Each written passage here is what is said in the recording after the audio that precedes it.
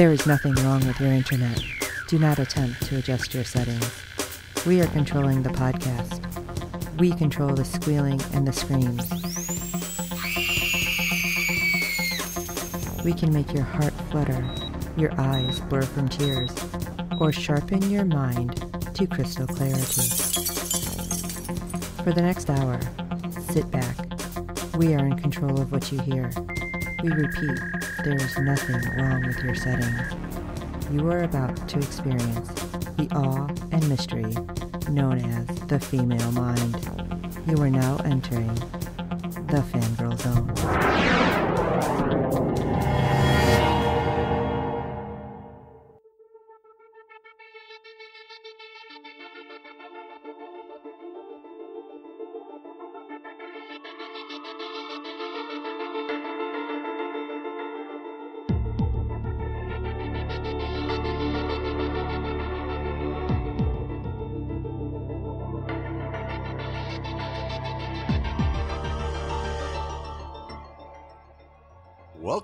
Falling Pieces. I'm Steve. A podcast dedicated to the NBC series Debris. I'm Terry. exclusively on the Fangirl Zone. I'm Sean Fangirl S. Woo, Steve. We got ratings. Yes, we do. Episode 5 brought in a 2.61 million viewers with a 0.34 rating in adults 18 to 49. Uh, Slipping. Not good. come on, people. Exactly. I don't know. This one was kind of weird. So, I mean, I guess maybe if you mm-hmm. started watching it, you might have thought that you were missing something because I did. Right. So maybe that's why. Like maybe people didn't watch. And They're like, oh, I'll go back and watch because I must have missed the beginning. Listen, folks. Because Listen. that's totally how I felt. Listen, folks. The name of the podcast is Falling Pieces, not Falling Ratings. So let's get our game going. Yes. once I actually because I I did I came in late anyway, so when I went back and watched it, I'm like, oh okay, I still feel like I was missing something. So, this was good though. It was uh weird. That's what little. I'm gonna say it was weird. A little. Yeah. yeah, I So think hey, Breeze took it took what? it took a step back from the attention of what was going on with the characters in the episode. It wasn't the main focus of the episode. Yeah, this was a little more character driven this week. Yeah. It didn't exactly resolve or revolve, excuse me, around emotion No. No. because that's where we've been for a lot of them. Although we had a an emotional moment, which we'll get to in the recap uh, of the two of them sitting in the car. Yeah. you know, that could have been a uh, explosion. Yeah, that that was the supernova I was waiting for. I guess maybe that's the supernova. Yeah, Yep. it ended up being more of kind of a an implosion ish kind of thing. But yeah, Right. Oof. Well, Yeah, I don't I'm know with what Confused. our uh, CIA chief is doing. That could end up being the supernova. that was really okay i obviously i said i'm confused like three times but that was confusing because i'm like what is happening it didn't feel like it fit with anything that was going on in this episode No. and not supposed to. Oh. It- he's doing it, you know, clandestinely. Yep. well and on top of it i was tweeting the episode so reading what other people were writing about a lot of what was happening was making me more confused i'm like i don't know if i should read anything anybody write like seriously the, the show will do it to you. yeah, oh, yeah. it's one of those that it's like all right maybe i should just enjoy the ride and not try to put the pieces together yet Yeah, I learned that earlier on in the season. So yeah. yeah, we've got a like a 40 person group Twitter thing going and it's real easy to get off on a side that nobody understands what you're talking to about Mhm. except for one person. Yeah i that was Mhm. probably one of the things i Yeah. like peeked in there going what speaking of what we got feedback Yay! Yay! We've got feedback. I wish we had like a little song insertion. uh, you can work on that for next episode Uh, Terry. okay.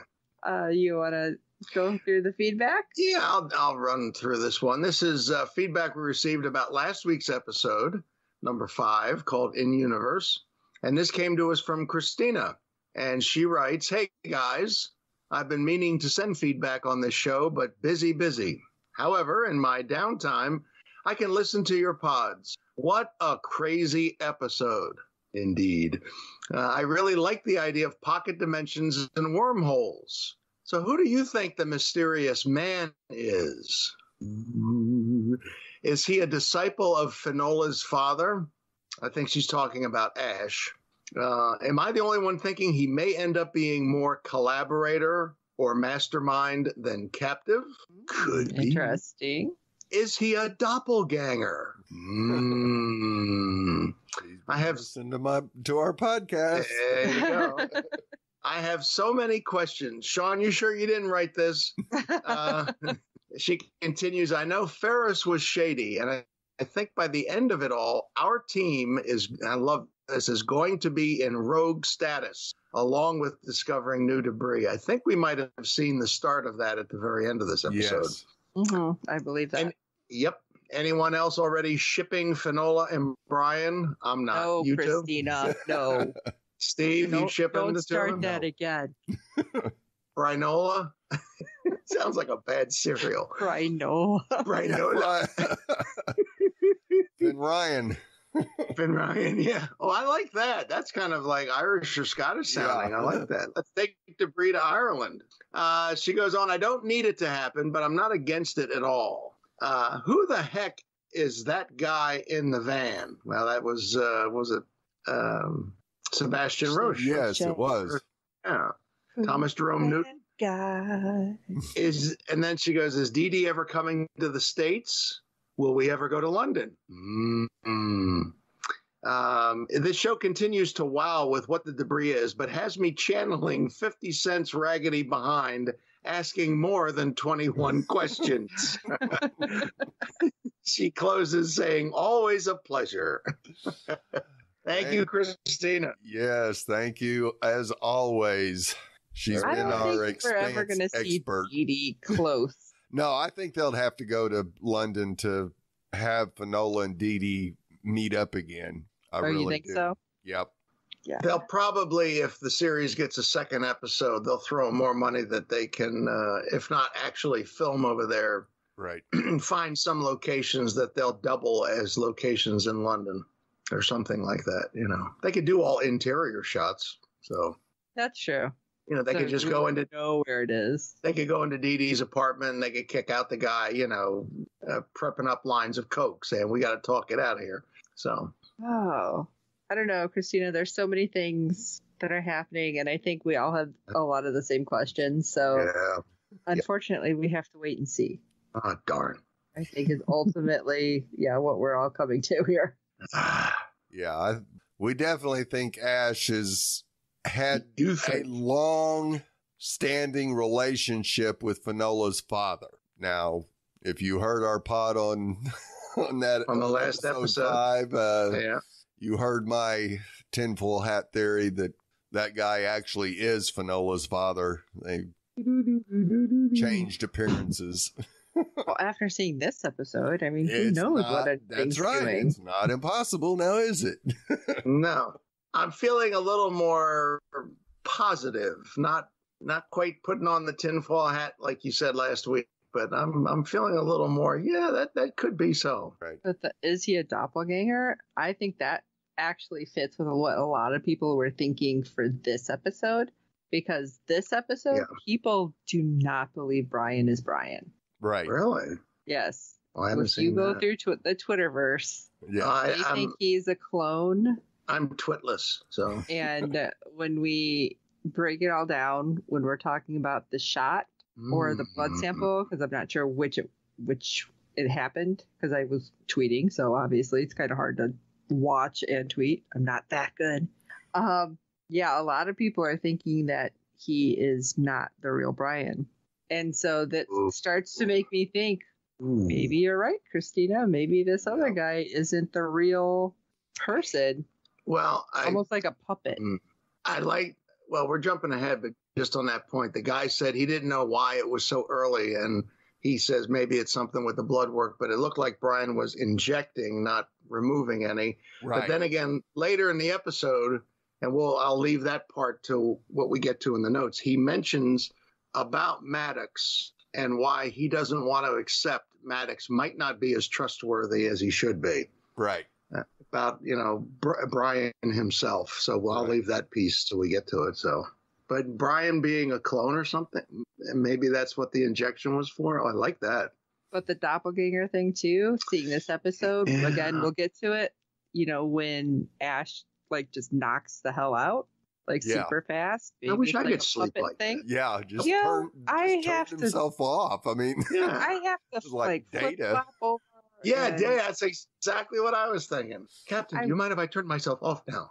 You know how jealous I was seeing him fall asleep that fast. yeah. Yeah, You me too. like Me too. yeah. Anyway, so thanks, Christina. How about we jump into this episode and talk about all of our crazy theories along with everything else? It's- Hear more about Christina hopefully next week. Well, our first group of pieces. We're inside an old, old abandoned shack. My I should have started with. I should have started with. Let's set the scene. Well, go ahead. Inside an old abandoned shack, a young couple. They they're gathering things, Yeah. and we get to see corpses inside, and yet one appears to be breathing. Mm. I seen that. I'm like, is that thing still alive? That was freaking me out.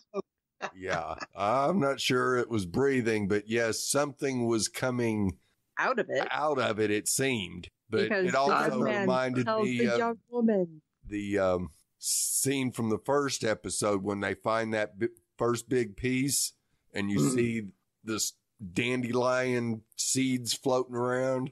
Kind of reminded Oh, me yeah. of that.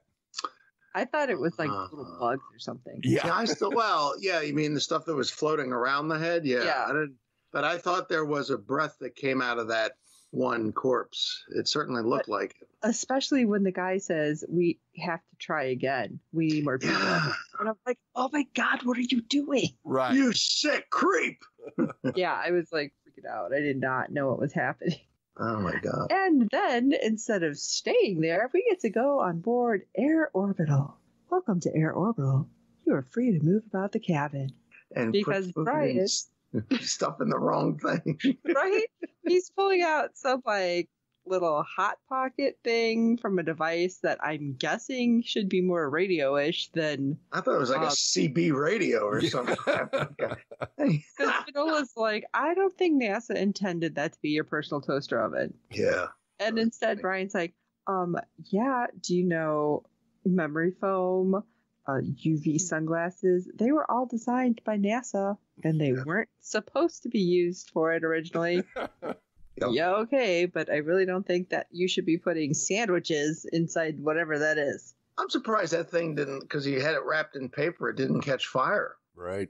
You know, I guess the light inside of it, because it looked like there was like a, an element that was lit up on the inside. I I guess saw that you was. turned a di- dial as a timer. Yeah, you know, I was like, what the hell is this? Like a toaster oven? Like she said, it's not your toaster oven. I'm like, "It's sure using it like one. Yeah. I don't know. I think it would have just topped it off if he would have said something like, "But it makes it so crispy," and then you'd heard a crunch. like that would have just made made it. That's like- weird. If anybody knows exactly what that, because that wasn't a hot pocket, and it, the inside almost looked like an egg roll to me, a Chinese egg roll. So, but it was all know, but I'm hungry. enclosed. I know it looked. I was like, "What the heck is that?" And I'm like, "It's a hot pocket." I said, "No, it's not shaped like a hot pocket." And then the inside, when he was holding it where the camera could see it, I was like, "That looks like the inside of an egg roll." The hell is that That's supposed to thing? be like a what are they called? Like a sausage roll or something. Oh, could be. I don't East know. Coast thing, and I can't think what it's called. Oh yeah, throw all the uh, trouble on my shoulders. Yeah. Thanks a lot. no, No, it's not a gyro. No. I've seen gyro. no, that's definitely not a gyro. Uh, but I don't know what the heck. It, but it was. If anybody knows, you know, you want to write in. Like I said, you know what I'm, what we're talking about. It, it, it, it was like a hot pocket, but it was all enclosed, and it was kind of either round or square-ish. You know, it wasn't like a like a, a rectangle like a hot pocket is, and the inside looked different than a hot pocket to me, anyway. So.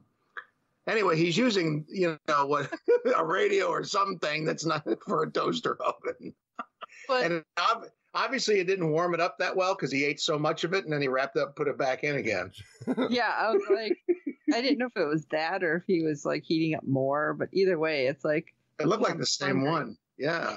but okay, change of subject. All of a sudden, Finola starts going on about her father being in Greece Hmm. and sending her an email before he died. Hmm. And it's like, what?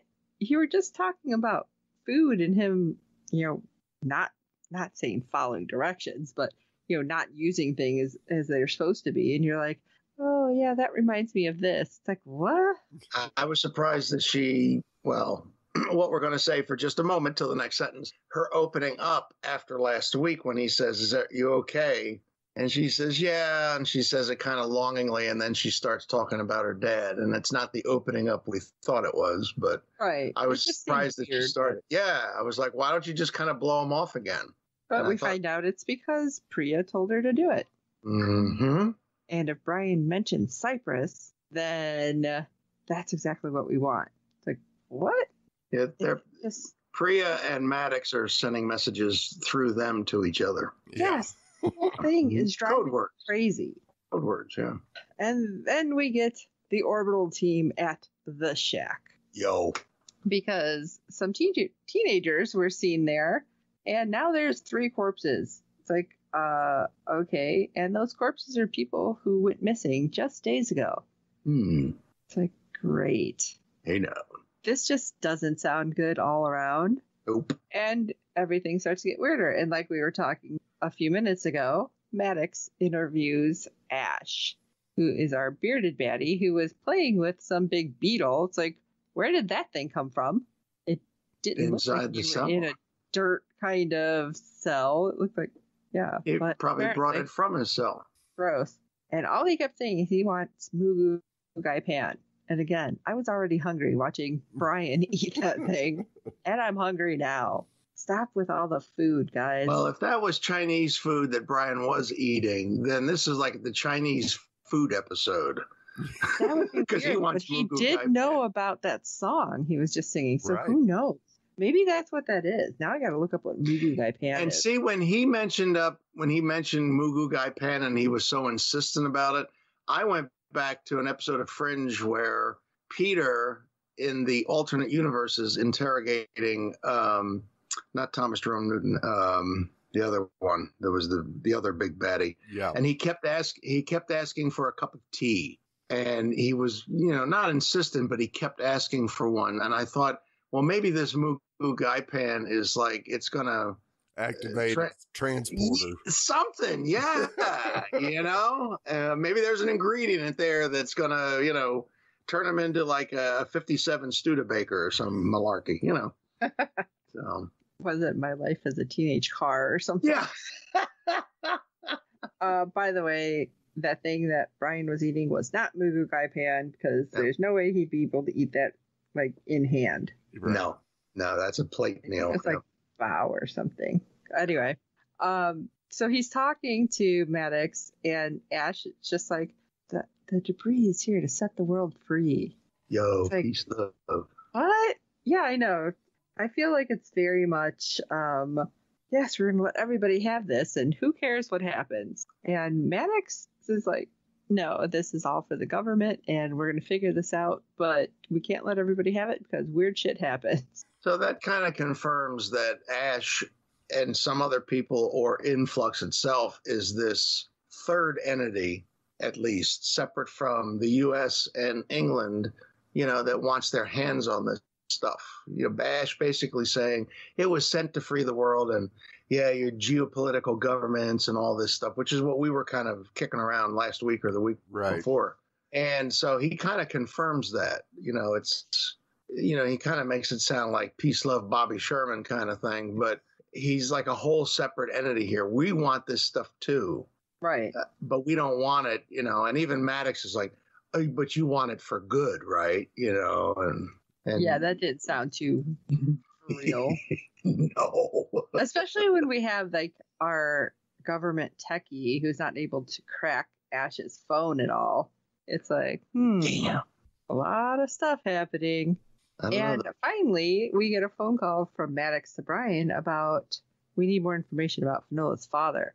Hmm. You know, like was he ever in the Mediterranean. Cyprus, for example? It's like what? ding, ding, ding, ding, ding. Yeah, I'm like, I do not trust you, you POS. That's all I'm saying. Uh-huh. Well, they're clearly using passwords to get messages across to each other. So Yeah, I don't like it. So I will be over here stewing for a moment while Steve takes us into the next weird grouping of pieces. bubble, bubble, toil, and trouble.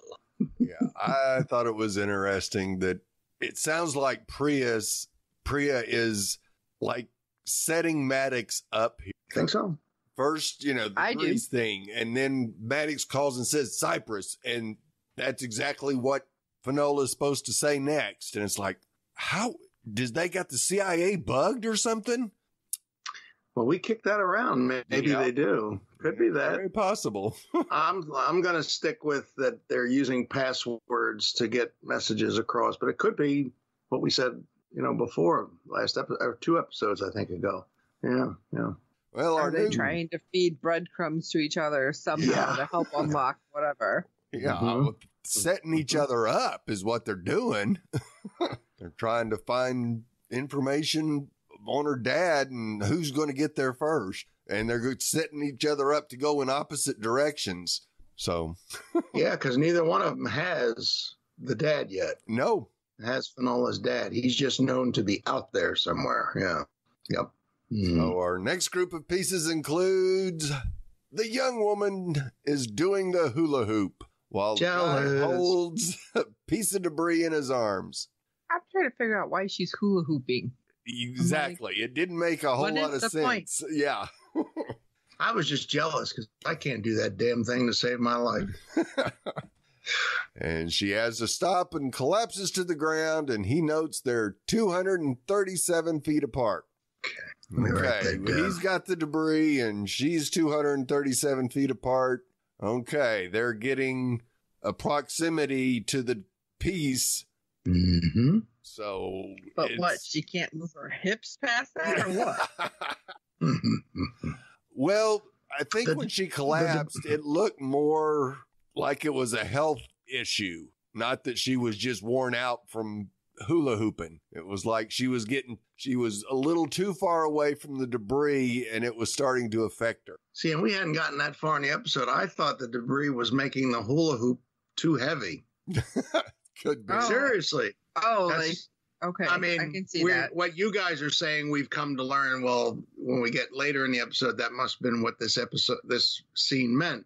But at the time, I was like, so the debris does what? It makes a hula hoop heavier. It what increases the density of it, or increases the gravitational pull, or something. And she wasn't able to stand up. Which Yeah, like I, Yeah. I can see that thinking like maybe her body got really heavy over the or her body, yeah, it could Yeah. increase the density of the body. Sure, sure. That's that's what I first took from it.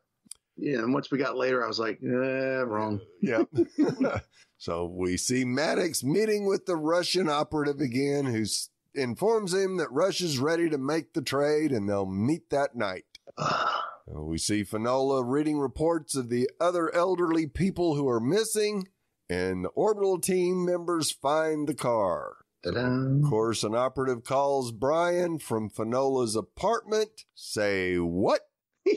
I was like, what is happening? And Yeah. at least Brian had the the I don't want to say the nerve, but like he looked pissed is all Yeah, I'm saying. Right. Yeah. So I'm like, good. About time you get mad.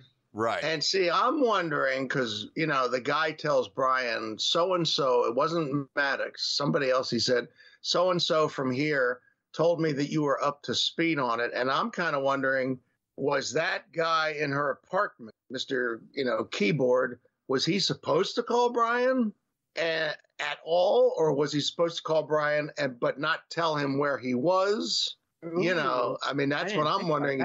Yeah, because Brian seemed genuinely surprised and pissed, you know, that they were in her apartment. right. Like, you know, oh, what's the absolutely. I deal thought here? he did say Maddox. He didn't say Maddox. I don't think so. He may have, and I'm just misremembering, but I could have But sworn. I mean, he does only say like whatever the name is. Said you're up to speed. So there's up to speed that we need information, and then there's we're gonna break into her apartment up to speed. You know? It's yeah. yeah, Maddox is telling Brian to dig for information about her father, while they're going behind his back and breaking into her apartment to Your see if what the information Brian is getting is actually true.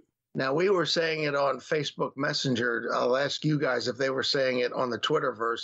Did anybody else say that? I wonder if MI6 is in Brian's apartment, Yeah. where they I say think I did see that. Yeah. Yeah. Yeah. yeah. But I he seemed like surprised at first and then pissed. So that's why I'm wondering if this operative was supposed to call Brian at all. And if so, was he supposed to say where he was calling from? right. Uh, and then again, he may have figured it was okay because he thought, as he said to Brian, I thought you were up to speed. So my calling you and telling you where I'm calling you from, well, that's no big deal. You know, I'm not doing anything I shouldn't. And you could see someone thinking that if you're told, oh, our guy in the field is up to speed, don't worry about it. But still, was he supposed to let him let that cat out of the bag? That's what I'm wondering. Right. You know, does Maddox know that Brian now knows they are in her apartment? Right. And does he want Brian to know that? See, that's that's the subtext. I'm wondering. Hmm. Right. Yeah. So we see the young guy come up upon an elderly man and sits down and has a chat. Hmm. And the elderly man is sad about his family. The guy says, Well, I can help you with that. That kind of freaked me out. Oh, That was creepy. Yeah. that was super creepy. you know, we see the three dead bodies, Yeah. and it, once we find out they've only been missing a couple of days, you say, okay, the body can't decompose that fast. Right. So, what is this piece doing? Is it sucking life force out of people? Yeah, Yeah, I c- especially thinking back with him saying, "Oh, we need a few more." It's like, oh, Right. Yeah. And see, I thought he was telling this guy, you know, he can help him with it because I'm thinking, well, he's going to use the piece to kill the guy to put him out of his misery. Right. you know so like when he's sitting there and he's having this conversation it was kind of creepy just a little bit and then when he gets to the i can help you with that i was like oh crap you're going to kill another one Right. Yeah That's exactly what I just was. thought it was kind of creepy. And walk up be like, "Hey, can I sit by you?" It's like, "Uh, no." Yeah. you're so antisocial sean Jeez. you know what? Six feet. All right, back up. yes. And I don't see your mask. Uh, that's true you got a good point there you got a good point i think i saw a couple birds in the background on the wide shot had masks on but that's just Oh, me Okay. And then we see Brian asking Finola about her story about her father being in Greece. And she adds that he was also in Cyprus. ding ding ding Yeah. ding ding Yeah. Nice transition, Brian. Mm, Right. Hey. Yeah. So Finola asks him why he's asking, and Brian says her father is alive. i was floored That he I couldn't actually believe said he it. told him. Yeah. I thought if he were ever to say it, it wouldn't happen just yet. Right. I was floored. Now, she says she knows and that he and Maddox knew. And he says he all he knows is the video. And Finola says she knows that her father's not a clone. Mm. I So just felt just- like it was the whole like I know that you know, Right. I Oh, know. yeah. you know. I know Like, that okay. you know that. I know. And this part was pretty funny because on the Twitter sphere, there was a lot of people putting "Get Smart." Um, little me. yes. It was like we need the cone of silence. Silence. Yes. like yes. Missed it by that much. right. So I was just like, oh my god, this Yep. is so weird because I can't believe she's just like, I know you know. I thought she was going to be more surprised, or I mean, she was playing it really well. Like she could have just looked at him and like Yeah. opened the door and been like, "You're crazy," and closed, you know, walked off or something. Right. That was But the. when she just, yeah, when she just says, "I know," it's like, what? No. and you then, don't. and that was the implosion, you know, that I mentioned earlier at the start of our thing here. You know, and then when he gets to actually, and this was the thing, I was like, oh, Brian, why did you go back there? I need to know I can trust you with the information, the big T word. Yeah. And she just kind of looks away for a second and she just gets out of the car. Now, that's where it could have been an explosion. Yes. But she's just like, I'm not going to blow up here. I'm going to get out of the car. I'm going to get away from him. I can't believe you just asked me that. right. So And yeah, Brian's uh, bedside manner is not stellar. So No. No, no. and we see the young couple take the elderly man on the bench into the woods. This yeah, can't that's be not good. creepy. Here, drink this. This- It's like, yeah. "Ah, what are you doing? Gives the man the piece of debris, and we see the real reason. He Ta-da. becomes young again. woohoo! That surprised me because I thought I honestly thought they were drugging him. Yeah, I'm gonna do something. Yeah, I thought it was going to suck his life force, and I- they knew I where the switch was to feed it to them. yeah, But yeah. Kind of. This kind of made me feel like it was almost a cult. right. you know, or at least the beginnings of one. And that's why I thought until the guy went and turned young, I thought, like I said, that he's just going to kill this guy. He's, it's, you know, I'm bringing mercy to the world, kind of a thing. Right. You know, these people are suffering and they're sad, so I'm going to end their sadness. Aren't I great? Yeah. You know, and it's like, ugh. But he turns young. I was like, whoa. O'Brien catches one of the guys with them and asks him where Caspian Coal is. He says he is Caspian Coal. Oh, surprise. But Finola catches the other guy who falls, ages, and dies in front of her. That's got to suck. Yeah. and the young Subash is caught. Ta-da. So Yeah, that was quite a Was bit of uh, happening there. he? I okay because I don't know if it was just me. Was it the older guy voicing the young guy, or did it just they sounded similar? It It kind of sound, Sounded Was it just- similar. Yeah. I wouldn't Yeah. say because it seemed almost like the voice was off. Right. Yeah, I, later when he was talking to Finola in like that that trailer setting or whatever, it almost sounded like the the older voice was superimposed or something. But yeah, some, so something with the voice. I thought it seemed weird. Yeah, something with the voice was a little bit off. I don't think it first happened in the woods when she catches him, or uh, when he's caught. Uh, Subash, the guy from the bench, but yeah, there was something at some point where just to my ears too, it sounded like the voice was superimposed. And that could have been where he was aging back, but he, we physically didn't see him aging. It could have been his voice, you know, getting older, you know, because your voice changes. This is all- And not that I know that. I don't know anything about that. So, so um, now the next group of pieces is that the young Caspian Cole, after having been caught, he tells Brian that they just can't be too far away from the debris or else they'll die. Okay, that's their So I guess they at least know. Yeah, at Yeah. least the couple informed them of exactly what was going on. hmm And the young Bash fills in Finola about how he was found, and uh, you know, obviously gives her more information about that. So now Brian talks to Kurt. This is the young man of the couple who we first saw, and he tries to get him to surrender.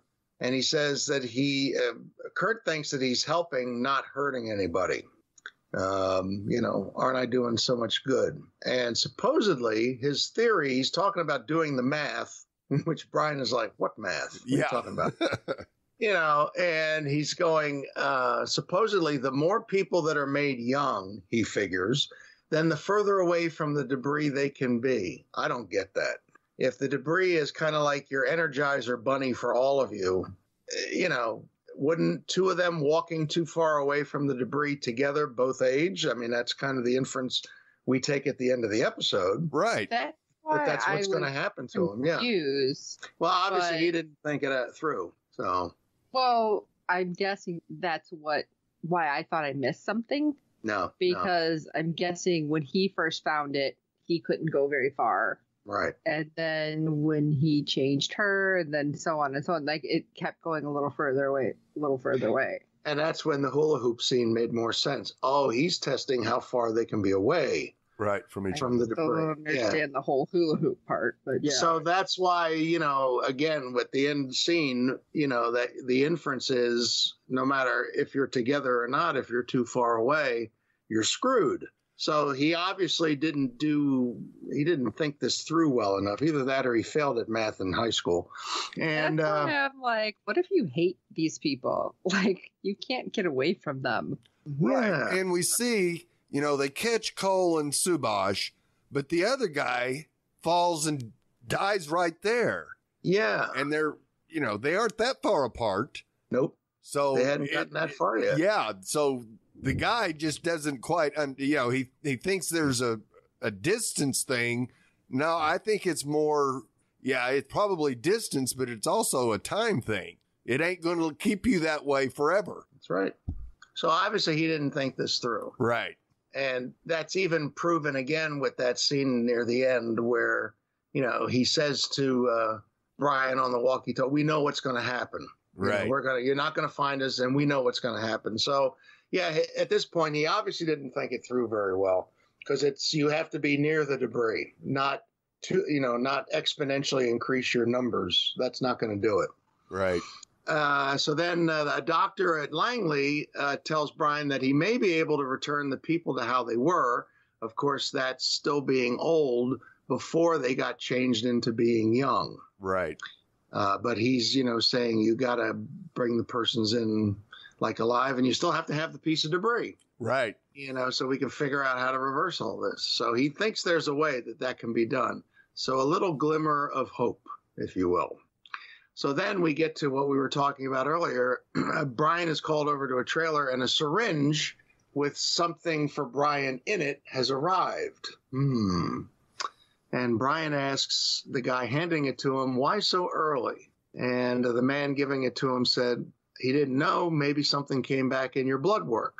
So, um, not that having blood work done would be unusual being part of the FBI, uh, but yeah, maybe something came of that. Did the guy really know? I kind of think not. I think he's just, he does his job on scene and then he just kind of passes stuff along as he's told to. Right. Yeah. So that's his suggestion. Maybe it's something in the blood work. Man, could be, could be not. Yeah. And we still find out later, again, towards the end, about Brian and Maddox and um, the importance uh, one has in the other's life. So he does shoot himself up uh, with whatever's in there. And then Finola comes right after that, and she says that she found out that the young man and the young woman are an elderly married couple. And, um, you know, that he finally got his, his wife was in, um, was it a nursing home? I think she yeah, said because she- of dementia. Yeah, dementia. Right. Yeah. Yeah. Uh, so he, but he, so Brian says, well, then he got his wife out. Okay, so now we know what the dealio between at least the two of them is. Right. All right, so now they're starting to get more pieces of the puzzle together. Hmm. And it it gets a little more interesting because Brian, Finola, and the team are tracking them. Apparently, this guy is way ahead of them Yep. because they think they found him, and all they find in the woods are relayed walkie-talkies. Smart. Yeah, it it is pretty smart. It's like, okay, well, apparently he knows what he's doing. Yep. And that's when you have the the girl, Claire, telling Kurt, we have to stop. And he's like, No, I'm gonna lose you again. And you know, you see him saying, you know, at some point she could die there. I don't want her in that Mhm. place. And that's when we kind of start seeing that he's doing everything because he didn't want to lose her. Right. And because she had dementia, he did already lose her at one point. Yep. And see, I think that she only listened to what Kurt had told her. Hey, I found this thing, um, and look what it did to me, and I wanted to help you. And then when she gets younger again, she probably only listened to what he said. And when she was listening to what Brian was saying over the walkie talkie, you could kind of see on her face the realization of, whoa, this is even bigger than what I've been told. Right. Not not yeah, so much not so yeah not so much yo kurt you lied to me but now the whole picture kind of opens up for her. Right. Yeah, especially when he says about the other people who died. mm-hmm You see Mhm. her kind of perk up, like, Mhm. what? yep yep But Kurt and Claire have disappeared into the woods somewhere. At least they're not going too far because they don't want to apparently kill the other ones right away. Although he keeps threatening it. yeah But the hazmat team ends up finding the piece of debris.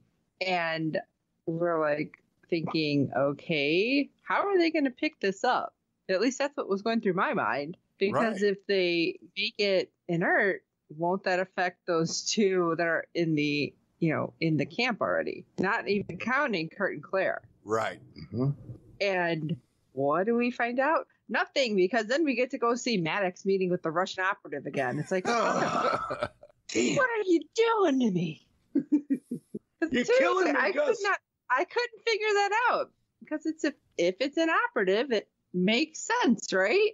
Like Right. they would suddenly be affected. yep. What are you doing? But hey, we get that Russian. Yeah. So what do you think? The people on the hazmat team would turn into kids? All of a sudden, they like got these suits that are now like 20 sizes too big for them when they hold the debris. Turns into like an episode of Bugsy Malone, the movie. You know? I want to know who this Russian woman was, though. right. That Mm. Maddox knows very well from his past. Like, Ooh, who are you? Now, I think Terry had said something that maybe it was a mistress, right? Yep, that's what I think. What? What if it was his handler before? Because we don't know anything about Maddox right now. No. Not really. Handler in terms of KGB or FBI? Spy work. Yeah. I don't know. Spy. Spy versus spy. We never know what's going on here. Right. I Uh, well, yeah. See, we don't know. I figured she was still Russia aligned, but maybe not. Right. Maybe she Handling But, Maddox in the U.S. hmm. See, but this. Well, okay. See, I, I, don't thought know. this- There's a lot of questions with it. I thought the guy in the car was Maddox's main operative contact, the, this Russian guy. And then all of a sudden, the woman, he says, Well, I thought it would be better if it was someone you knew. And Maddox didn't seem exactly thrilled that it was her. So it could have been a previous handler. Yeah, like maybe he was doing Ah. stuff before the debris started to fall. See, I just figured that the this Russian operative guy picked her. I'm going to stick with my mistress theory that you know he knows that they know each other. So if they're going to physically meet somewhere to have this handoff, you know that kind of pulls him out of it. He doesn't have to bring the thing to Maddox himself. Right. It's kind of like you know I'll be the mastermind. These people will do the footwork, uh, kind of thing. But yeah, Maddox didn't seem too thrilled to see her at first. Nope. Yeah. For a split second, when all we seen was blonde, I thought it was his wife. Yeah. That's what I thought too. That's what I thought It too. crossed my mind. Yeah, So, yeah. yeah, it was just Uh-huh. that second. I'm like, what? Yep, yep. Uh, but she has a piece of debris, which apparently is not the whole piece, whatever that is. Right. And it's some weird gravity thing because we had a little bit of a inception moment with the Yeah, I thought it was a leftover from the set. Yeah. and I love it because she says, I hope you know what you're doing. And of course, yes, of course, I always know. Don't worry. It's like, really? Really? Mm. Listen, Maddox, I don't trust you. Oh. I don't believe you're doing good. That's all I'm saying. And says she always it says she always worries too much.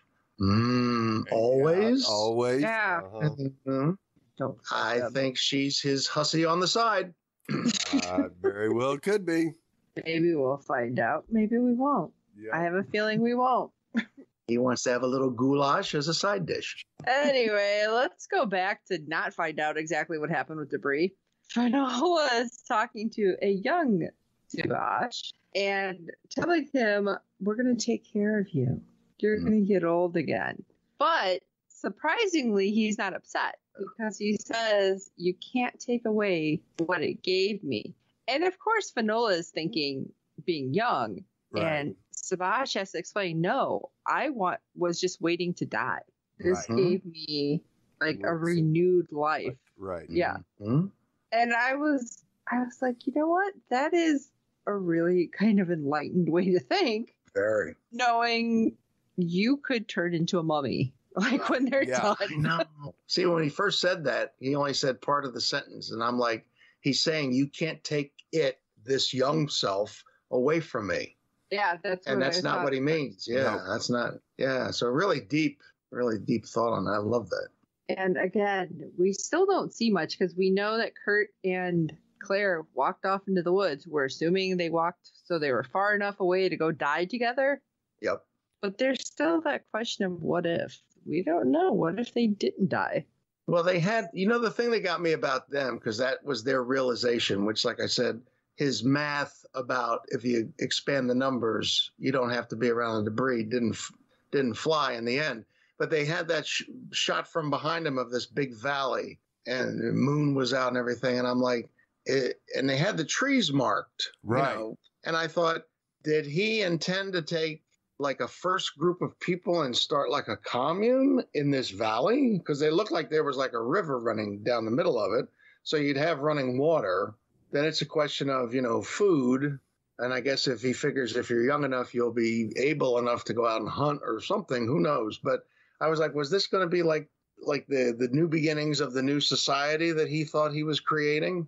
You know, it it was just an odd shot, not misplaced, just odd. You know. Yeah. And Not we actually sure. see Brian find the tree that had the chalk on it. Yeah. And I really And there- think the chalk was there to help his wife find the way back because it didn't Oh. It may not have happened immediately for them. Hmm. Maybe they just it was in stages as the more they the more people, the younger they got. Mm-hmm. And so oh, time, Oh. of that. it that's was you know, it only took five years off. Right.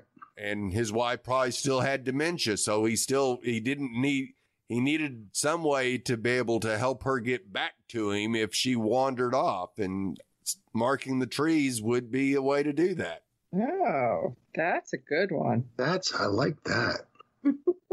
hmm. So you'd have to get like a booster shot, like hold on to the piece every five years. oh at least You know, well, every couple of years, Yeah. let's say. You know, like put it away, let a couple years click off on the calendars. Okay, a couple years went by, hold it again, pick it up and hold it again. Yeah, that's interesting. No, I like that. That's something we're going to have to pay attention for then. So let's talk a moment about our team, Nolan Bryan, You know, who decide to brainstorm that Ferris and Maddox's intentions are not on the up and up. going rogue. She says Brian can't trust Maddox, and Maddox, of course, saved my life, but something's going on. And I believe Brian said, You can't trust Ferris. And she's just like, Yeah, I know. you can't trust Maddox. And he's like, oh, oh, oh, oh, oh, wait, wait, wait, wait. And then he says Maddox saved his life. That's what I think ties back to the syringe. yep Oh. absolutely Okay, so maybe different from the clone thing then. right Well, you could still go with the clone theory that maybe, you know, the original Brian was sick and this Brian, who's a clone, is healthy again, but he has some sort of whatever molecular breakdown or something or that he Right. needs shots every so often because that's why he asked the guy why so early? So obviously he's expecting these shots at certain intervals. And when he says you know when he kind of rebuffs Finola's thing about well you can't trust Maddox either and he says but he saved my life that i think is what the syringe is. That's kind of the end result of whatever Maddox did or arranged to save his life. Maybe you know that scar he's got on his chin right. you know maybe that that's a, a, a final physical piece of something he was injured by in afghanistan. Or Hmm. or Uh oh. seeing that we've already gotten a little story about his former partner. Mm, maybe brian tried to save his former partner yeah got infected by something from the piece of debris man. and the shots are what's keeping him alive Yeah, because the, the, each piece of debris does something. Not all of what the debris will do will necessarily be good or just simply different. right Could be bad.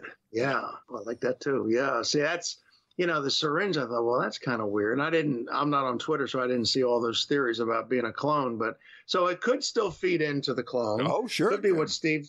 Could be that he's injured and the debris got in him or something or other. You think back to Charlie France, alternate Charlie with Yeah. uh, bugs bugs in his blood. yep You know that kind of thing. Uh, or it could be that you know he got injured in some way, maybe in Afghanistan uh, while he was serving, and Maddox, you know, saved his life. And then, oh, by the way, he you know suggested there's this opportunity to work on this thing called orbital you know, and blah, blah, blah. And he even tells Finola early in the series, you know, I want to make sure this technology gets to the good guys. I want to do something. I don't want to just sit around. So, yeah, that's, there's a whole bunch of possibilities. But she's right. You know, she can't trust um, Ferris and he can't trust Maddox. So that's where I think Christina's idea of maybe they're going to go Go rogue. rogue, yep. Yeah. Yep. Well, especially with the last line. Yeah. Of course, you know. Oh, she says man. we have to trust each other, but is there anything else you need to tell me? Yep. Yes, they're surveilling your apartment. It's like, oh, he told her. Yeah. Like I was surprised he told her. Yeah. I, that's twice. First about the father being alive, and then this. You know, yeah, because so he doesn't. I'm He doesn't. wonder.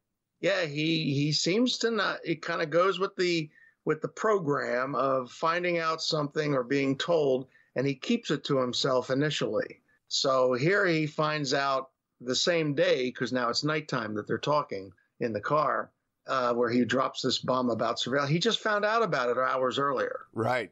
and now he's telling her that. Yeah. He came completely clean to her in this Ooh. episode. Wow. Yeah, I think he was getting pissed with Maddox and everything, so that's why.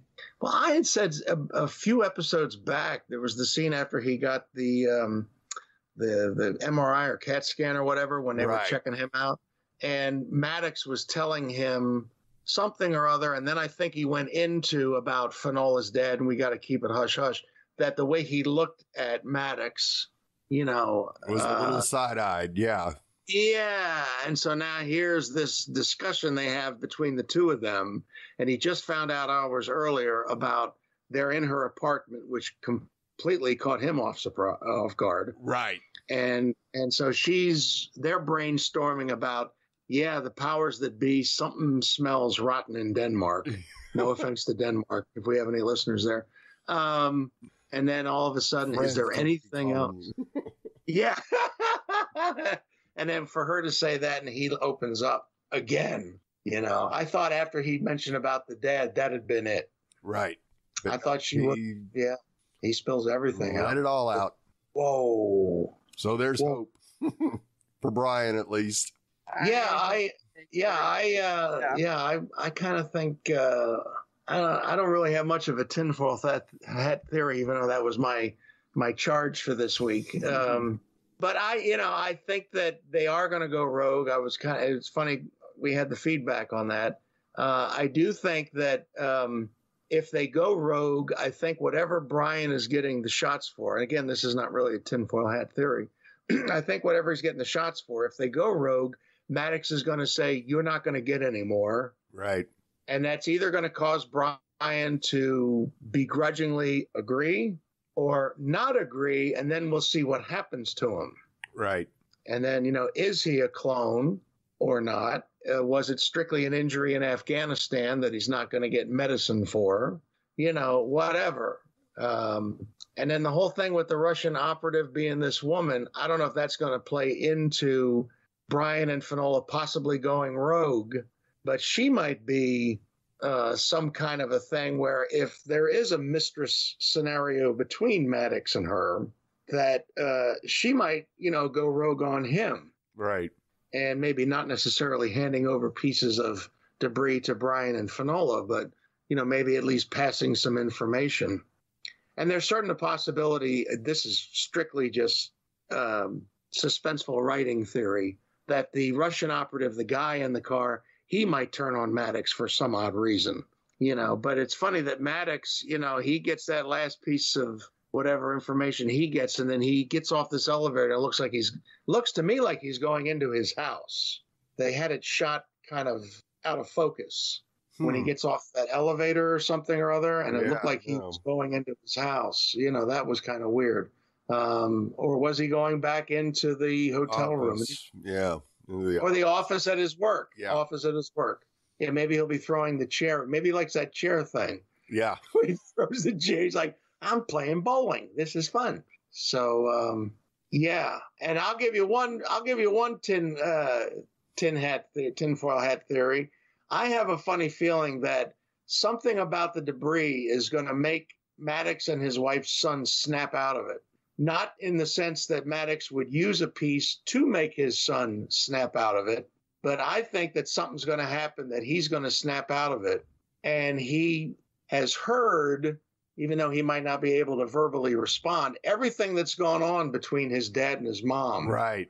And he might, I don't know what kind of secrets he would have to tell anybody else, probably none. Uh, and he probably might not comprehend. You know, I'm sure Maddox keeps pretty tight lipped around the house. He seems like he does. He just talks about, you know, work, and his wife's like, not everything's a conspiracy. So I think that there's something where even the son might play into this whole possibly going rogue thing. Right. So that's not much of a tinfoil hat theory because it's all over the board, but that's what I got. I, I, I was watching the episode. I was like, I don't really have a Christina with her feedback. I was like, well, that's my tinfoil tinfoil hat theory is that they're going to go rogue. So anyway, I was just letting you guys go off on theories. uh, we were just going crazy. Down the rabbit. We got this piece of debris that makes us think of all this wacky stuff. well, you know how we feel about the episode. We want to know how you feel about the episode. So shoot us an email at contact us at fangirlzone.com because we would love, love, love to hear from you and everybody else's tinfoil hat theories. Come on. I know you got some good ones. Share them with us. And while you're at it, if you can rate and review us on all of your podcast platforms because good ratings and reviews help other fans of the show find us. Tell your friends about the show. This is really good and weird, and I think everybody will love it. I hope. Yeah. And please tell your friends about our show, the podcast, because we, of course, hope you're enjoying the podcast. And for this episode of Falling Pieces, I'm Steve. I'm a, just a guy who wants some Moo Goo Gai Pan. I'm Sean Fangirl S. Do you have anything for these wrinkles? and I'm Terry. I think I just located that abandoned shack on realtor.com.